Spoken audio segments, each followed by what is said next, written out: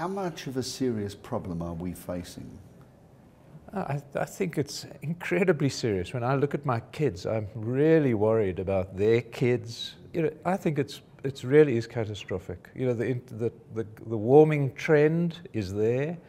The extreme weather, the predictions are much more extreme weathers, uh, droughts, floods, unreliable rainfall the next generation, I mean, we're already facing those kinds of issues already in terms of extreme, strange weather and extreme events, but the next generation is really going to find it tough, and the world is not taking it seriously in cutting down greenhouse gas emissions. Yeah. Are we to blame governments in the world, or are we to blame ourselves? I think, uh, I mean, it's really a problem that national interests are still much higher than any interest at a global level. Don't you mean financial interests more than national interests? And, and right behind that is the political economy, and the economy is the, is the real crucial piece. So it, really that's becoming our enemy uh, instead of helping us. So a few get rich and a few, a lot get hungry. That's, I mean, that's exactly the case, yeah. And, and it's, you can also see the difficulty of coming together to try and broker global uh, negotiations and, and conventions. It really is a tough environment because countries come from such different perspectives, feeling that they've been the ones done in by another country for doing greenhouse gas emissions in the past.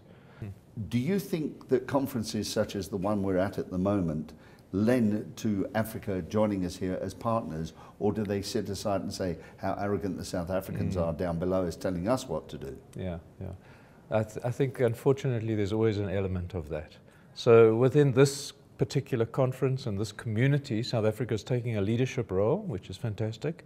So for example, it's coming together with the United States, the Netherlands and Vietnam in putting together this kind of consortiums. And then within this, and this particular conference has the most African participation so, uh, you know, there is that leadership role happening, but there is always the, the issue of jealousy and those kinds of issues. Which is petty, really, and rather destructive, isn't it? It's true, and but then South Af the, the leaders in the South African context also have to understand that that's there and do partnership uh, the ways they do partnership appropriately. Well, let's talk about neighbours here because you spent many years in Zimbabwe where there's been land seizure, there's been uh, uh, a failure to produce enough food for its people. What could we see that kind of scenario in South Africa? And uh, in my opinion, that would be the death of South mm. Africa if mm. were we to suffer that mm. situation. Mm. How destructive of, was that in your time there? Yeah. Uh, so I was 20 years in Zimbabwe and teaching at the University of Zimbabwe and doing research. And I've still got relatives in Zimbabwe. And for me, the, what happened in Zimbabwe is totally destructive. It's destroyed the economy. Uh, the in the 20 years of, I've trained so many people to PhD level. Almost none of them are in Zimbabwe. They're all scattered everywhere else. Uh, so it's destroyed the human capital. Um, uh, you know, perhaps it can pick up, but it's quite difficult to see. You moved from there and went to Indonesia. What's the farming situation like in, in, in, yeah. that part of the world? Yeah. So uh, I guess for, for when I first went to Asia, I was amazed by the energy and the vibrancy of the economy. And, and, uh, and that's what Indonesia is. It's growing enormously fast and rice production, fantastic. So there's lots of problems again, but it's just so totally different from African context. Correct me if I'm wrong. Mm. I don't see conglomerates in that part of the world. I see small farmers. There are many in this country would like to see small up and coming farming working in this country. Mm. Yet we're told that economically it doesn't work because of the capital mm. intensification and investment that goes into farming mm -hmm. these days. -hmm. Is that right or is that wrong? I think it's, uh, once again, there's never a right and a wrong. so it's not so simple as that. So, for example, smallholder rice production, it can be highly productive. And you can have millions of smallholders producing for the nation.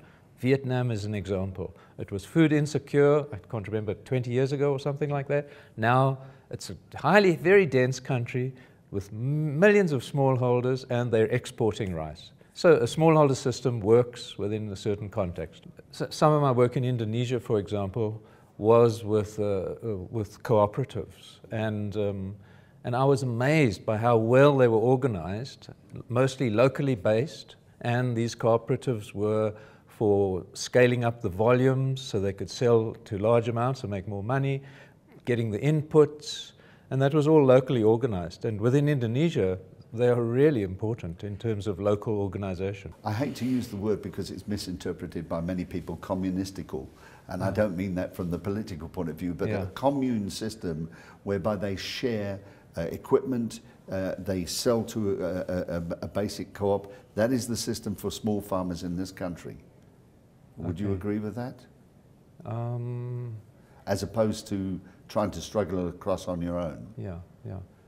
Uh, there's definitely a role for organizations above a farm level. And, but of course, you, you can't, you know, it's really difficult to generalize because if it's a case of no rules at play in an organization where people just take rather than give, then you can imagine equipment being destroyed. And so they have to be really strong organizations with rules in place about what you can do and what you can't do in terms of equipment and sales and those sorts of things. I, I'm deliberately taking you down a path, and I think you can sense the path that I'm taking you down. Yeah. is, is that whatever we're doing now is not satisfying everybody. Yeah. We can't take farms away from farmers because we lose a lot of food growth, Yeah. which we have to have. Yeah, But we have to satisfy the previously disadvantaged.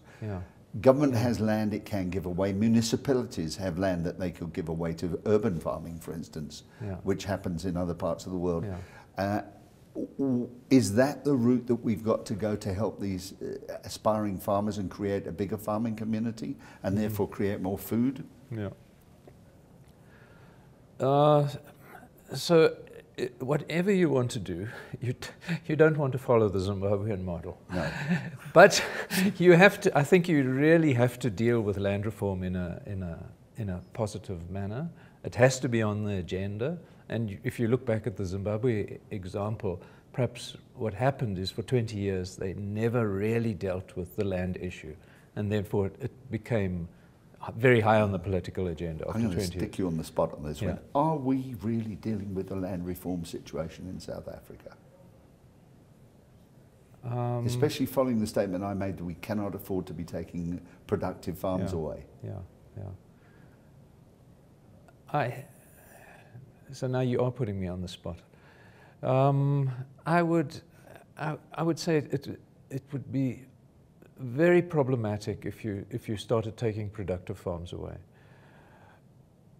But is it, is it feasible within the South African context to grow a next generation of farmers, which is, is, uh, is, uh, is across the society? So, those kinds of issues.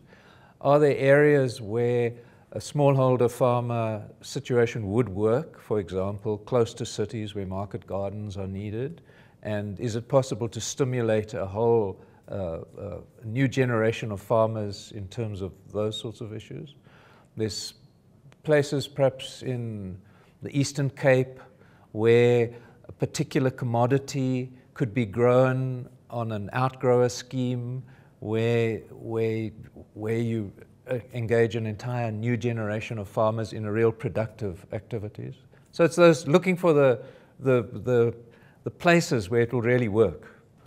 I'm going to throw another question in the pot, which is a ticklish subject in some respect. It's called biofuels. Mm-hmm. And uh, uh, um, uh, some of the previous interviews I've done on this uh, conference have touched on biofuels. Mm-hmm. We cannot afford to take from the food chain to, to provide the biofuel necessity. Mm-hmm. Yet South Africa and Africa needs fuel To, to, to survive. Mm-hmm. Mm-hmm. So it's a balancing act in some respects. Exactly, exactly. Do, yeah. you, do you have any advice on in Yeah, that area? Yeah. I, I, I think it's feasible to, to, ha- to imagine bi- a biofuel industry and, and biofuels coming from the farming sector. Um, but it has to be very carefully managed so that it's not a case of subsidies to biofuel production, which drives up the price of maize, for example. That's, that's unacceptable.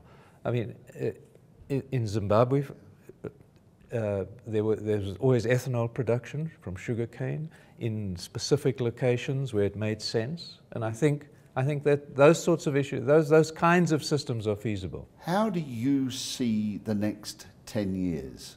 So, um, I, I, you know, I started off pessimistically, but I can also be quite optimistic in terms of I, I, see people really working on interesting things. For example, farmers need information about weather.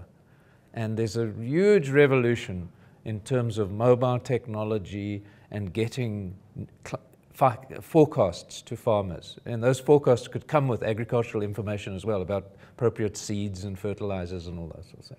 So that's really interesting. There's insurance. In India, there's a national insurance company insures 12 million people on 40 crops, and these are very small, small, smallholders as well are in part of that program. So it's a, it's a great success story. In Niger, which is a, one of the poorest countries in the world, there's an amazing success story in terms of 5 million hectares of area have been regenerated. The trees are growing on the areas. So I, you know, I think if we can build on some of these successes, we can, we can really tackle the issues.